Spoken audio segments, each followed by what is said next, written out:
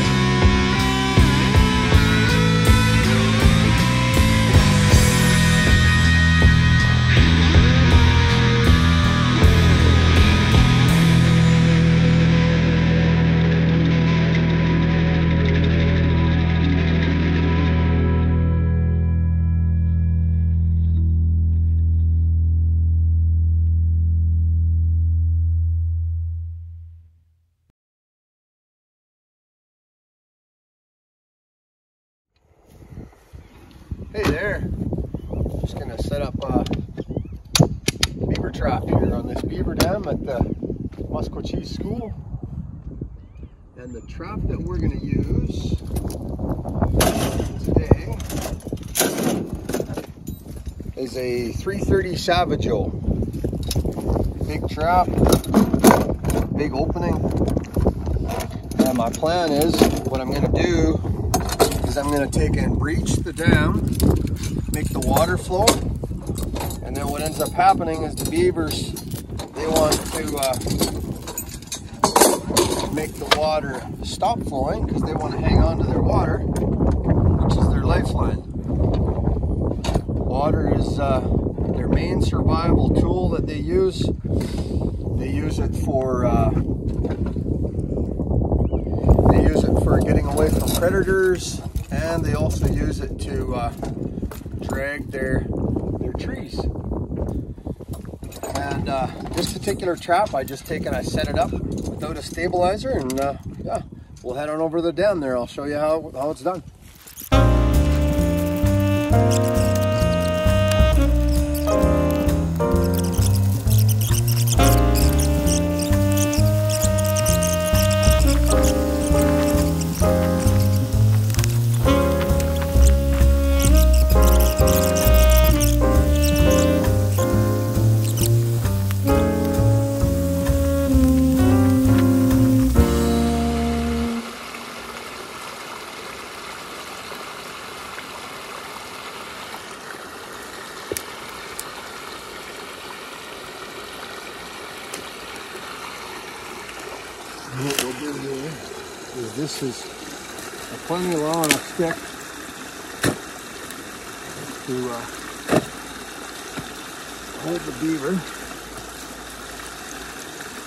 Use it to tie off the trap.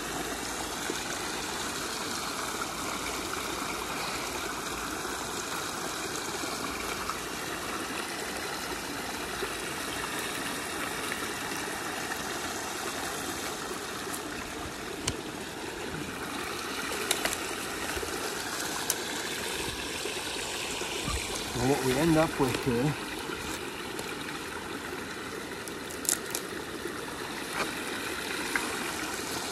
is uh, my son Barrett. He's out here helping us trap. So this is what the finished set looks like.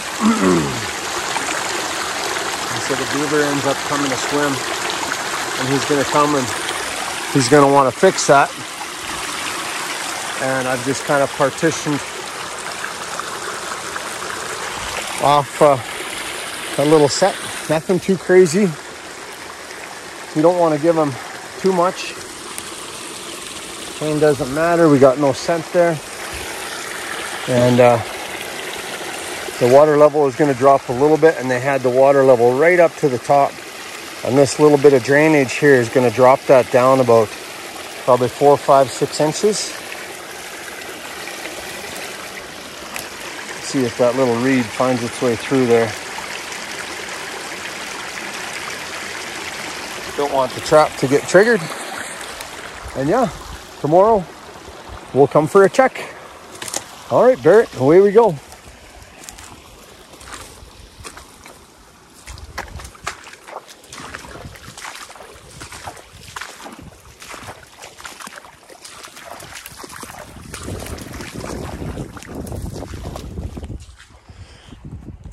Obviously these types of little trees here, these poplars, are absolutely ideal for the beaver.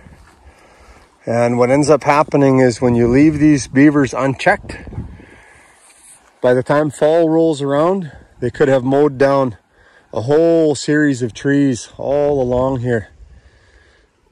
And the problem with the beaver is they just don't know how to stop. So we will be putting a stop to these guys' action here right quick. Come and check her out tomorrow. a little bowl right there.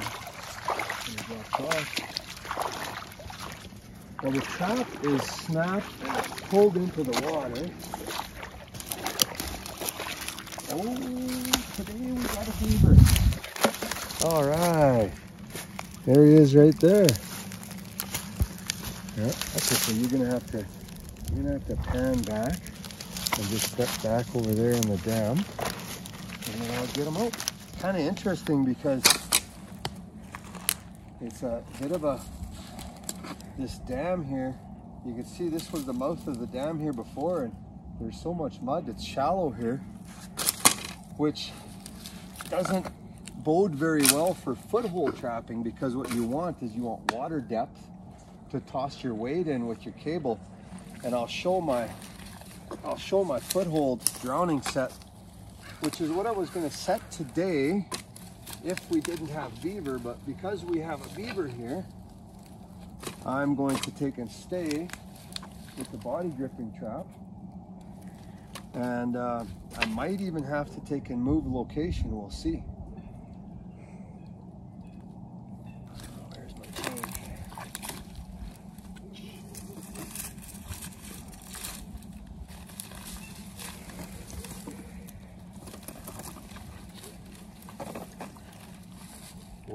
That looks like a big beaver from here. Whew. Just looking at his, looking at his head anyway, he looks like a big boy.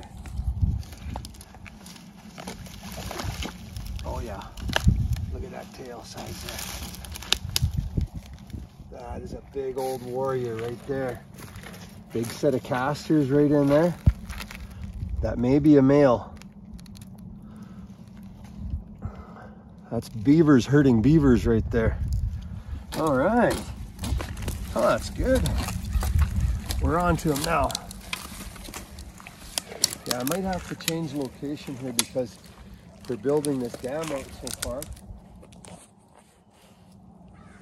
In fact, I might go and breach it over there. We'll see how this works.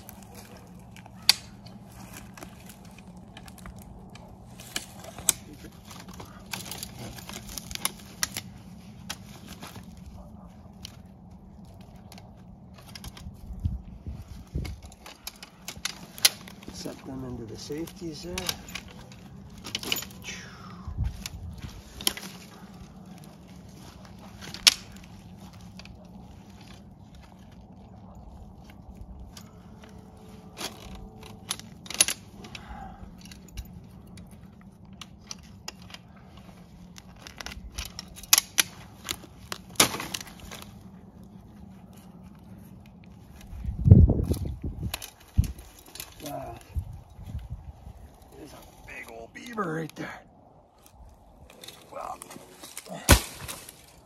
Big. Man, I'd really like to get him washed a little bit.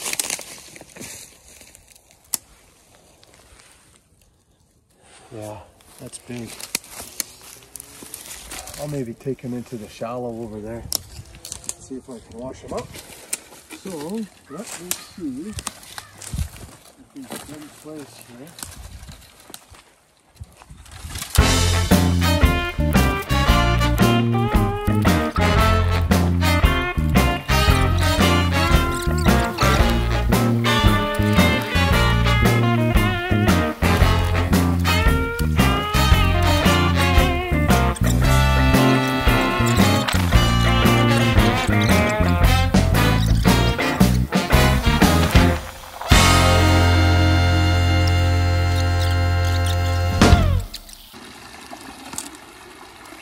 Nice and clearly visible.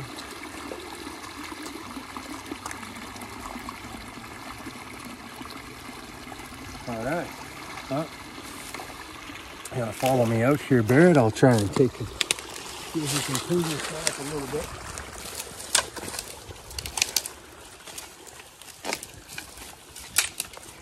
You'll be, you'll be all 50. He's not 60, but he's all 50.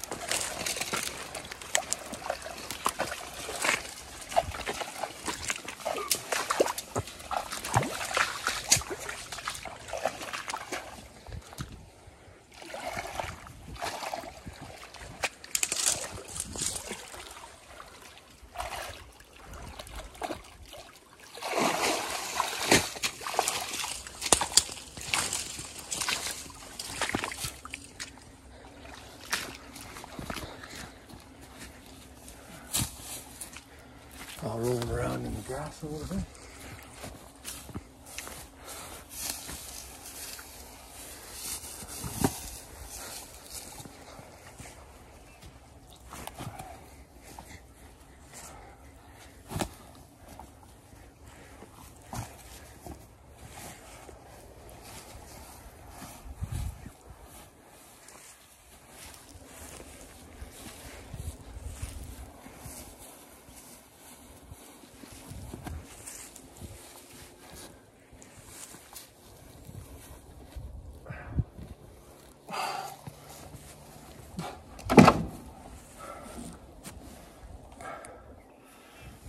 beaver.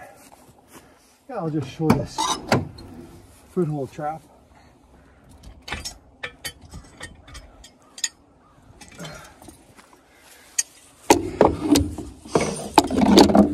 I may not end up using it, but we'll see. So what happens with the foothold trap is I'll take I'll run a cable through here. And so the cable runs through this way and then I set it and throw, it's attached to a weight and I'll throw, it, toss that weight in the water and then I'll string that cable tight and the other end coming through that little hole, I'll take and tie that off behind the dam on the bottom side of the dam. And then what happens is the beaver gets his foot in there and they immediately dive into the water. So this thing can take and slide down the cable when he drags it in but when he gets down to the bottom of the weight and he tries to come back up, he can't because this twists sideways and twists the cable. And uh, these are TS85 specifically for beaver. You can buy this same trap for wolves, just now for wolves and coyotes, for canines. They make them with an offset jaw, so it has a slight opening in the jaw so that it doesn't break their leg. But in this case for beaver, we're not concerned about that because uh, the animal is virtually rendered dead uh, just in the amount of time that it takes for them to expire.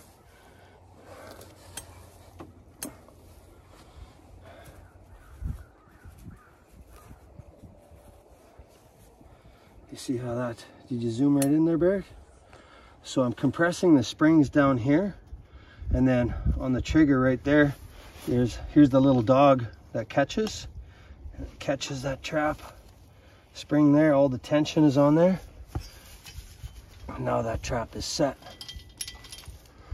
And so I just place that just inside the water.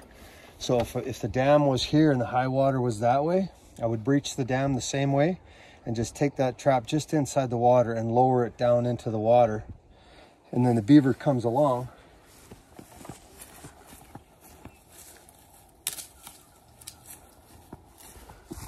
And the beaver, when he comes along, he's actually swimming in the water where the trap will be set and his front feet come along and uh, takes and hits it. Just like that. And you can see the amount of damage that that thing does, which is which is why they make you use offsets for uh, for canines. So yeah, that's the TS80 TS85 beaver foothold trap.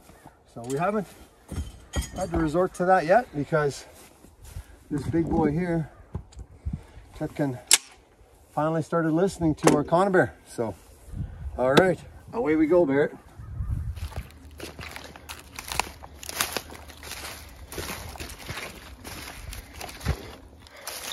Well, that's not a good sign. They packed it right in front. Okay.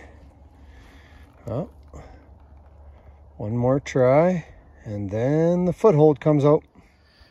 Yep, empty trap again. So, we're gonna take and we're gonna set up a foothold. I'll clean this up and get prepped. Test that water for some depth right there. And uh, we'll video a, a foothold set. Yeah, so here's the assembly. So that trap and chain can slide down the length of that cable all the way down to the weight. It's to be tossed into the water. And that is going to keep the beaver down in the water and he'll drown. So had to resort to this. He just got wise to our conibears, our body gripping traps. So the next phase has begun. Yeah, I just took and tossed that weight down in there and here's the trap so now I'm going to place that trap just right in that opening there and I'll put sticks on this side here too and I'll show you that finished product. I'll just open up that trap jaw and just place it in there and then when he comes swimming up that'll produce us a beaver. All right. And I we just took and rigged up two different sets here now for this beaver. And uh, kind of barricaded it off a little bit between these trees. Got lure right down there. And we've got a little camera there so we're hoping to uh, get a little bit of video footage here. But this poor beaver here we already he's already gotten hit with the conibear on the dam. And he's set the foothold off on the dam, carrying debris into the traps, accidental trips, but inadvertently they become educated. And uh, very disappointed at the other lure set that I made that he triggered the trap there. So I don't know, sometimes that's just how it goes, but we're pulling out all the stops here now. We'll see. This is the first set that he comes to when he's swimming up the waterway here, so We'll see what he figures, Barrett. Well, I just got to my set here and I see the camera was operating and I see that the trap is gone. So,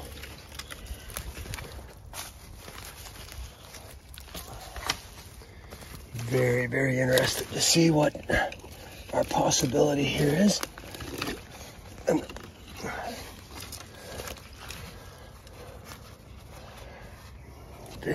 Very, excited. Please, please, please show me success. Try to do this with one hand here.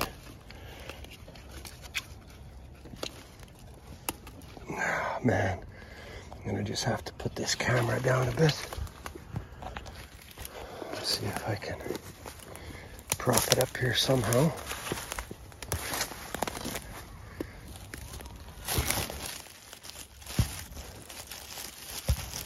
Let's see.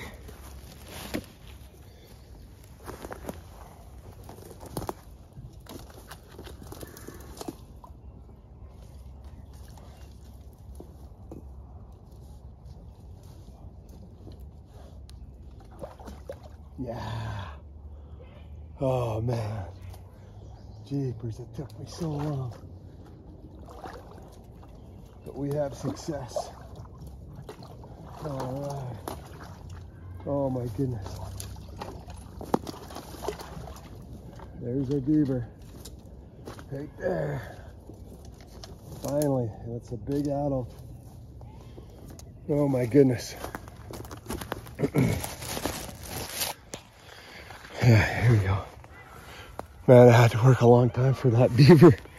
Unfortunately, what happened was he just he just got educated. The trap got tripped so many times and oh jeepers. Here's the dam right over there. Whew. Okay. Beautiful catch. It's exactly how you want them just like that. He got his front foot in the foothold, drug it down perfectly right to the bottom of the weight. And, uh, and the beaver looks nice. Can't skin him, but it's a nice big healthy beaver.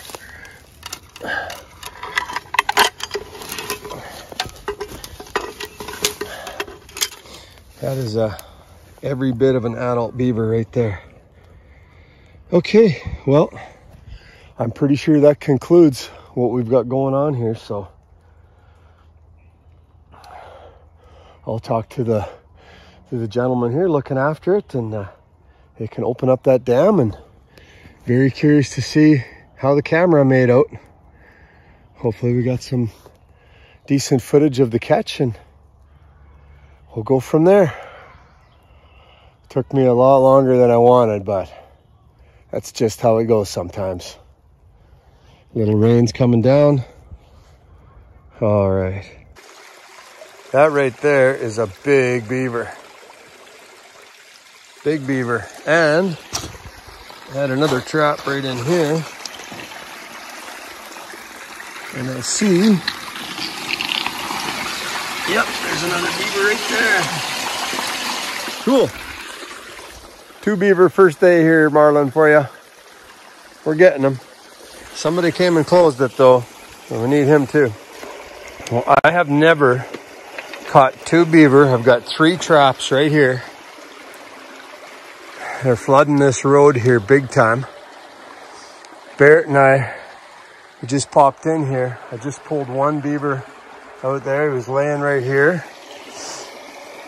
These are two serious serious adults. And if you look at these two tails, holy, look at this. Look at these two tails. Like, that is a size 10. Holy mammoth. I don't know about the body weight. I don't know if they hit 60. But I'm going to take these two home and weigh them. I don't know, Barry. Those are some behemoths right there.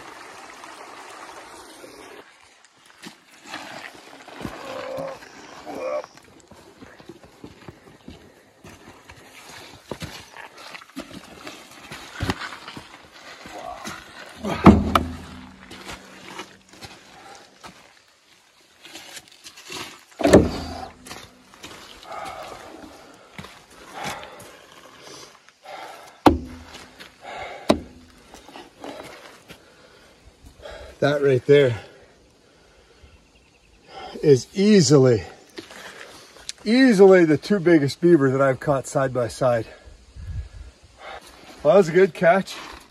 Okay, Barrett, well, let's go and reset this trap here real quick. You can keep that thing rolling if you want. That's what I'm doing. Good cameraman. Uh, water level has dropped a little bit. And uh, we'll try not to change too much because uh, obviously what we had going on here had pretty deadly desired effect.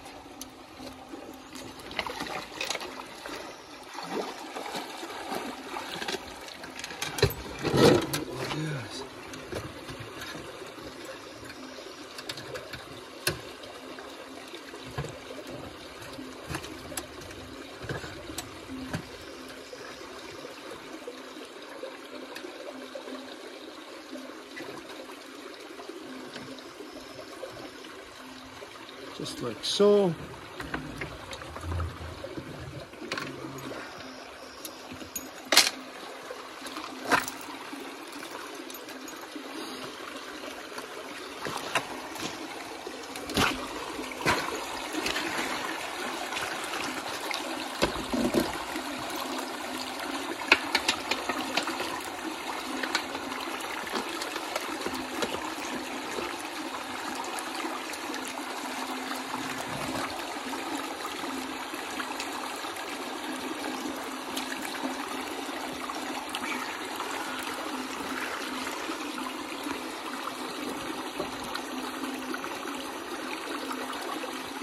Yeah, we definitely don't want to do too much too different here. Couple more little sticks. Right back to the way we had it.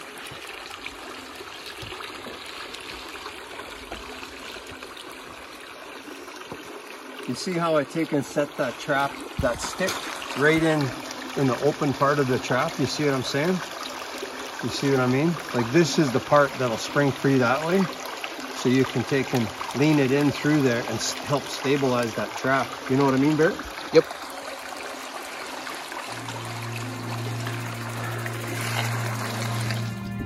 Just pulling this beaver out of the trap here.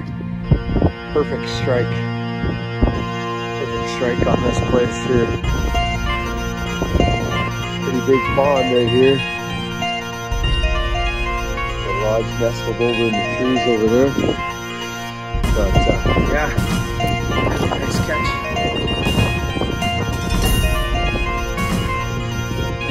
Beaver. Not very big for the size of that tail, that's for sure. That's a big tail right there.